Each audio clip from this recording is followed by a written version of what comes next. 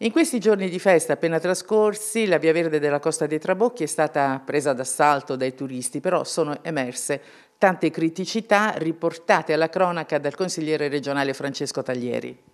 Criticità che ormai si presentano da troppo tempo e che naturalmente non permettono un, eh, la possibilità di utilizzare in maniera corretta questo strumento. Uno strumento che di base attira tantissimi turisti da fuori regione, uno strumento che ancora oggi è un cantiere, forse il cantiere più grande d'Italia, con tutte le sue criticità, ma funzionale.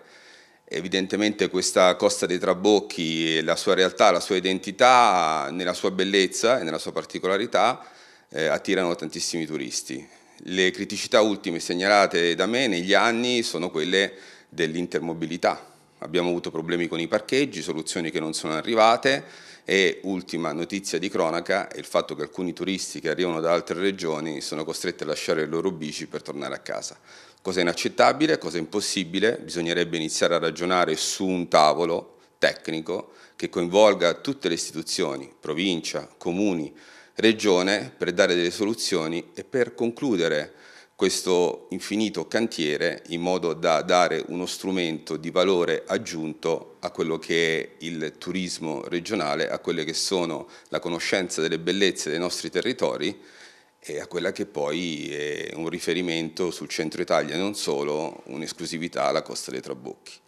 Importante per i commercianti, importante per quelle che sono le persone che vivono la nostra quotidianità. La soluzione naturalmente è intervenire su quelli che sono i regolamenti e fare in modo che le aree interne attraverso TUA ci diano la possibilità di trasportare più bici e non soltanto due perché diventerebbe impossibile e fare in modo che questo collegamento avvenga sia per le aree interne sia dalle altre regioni.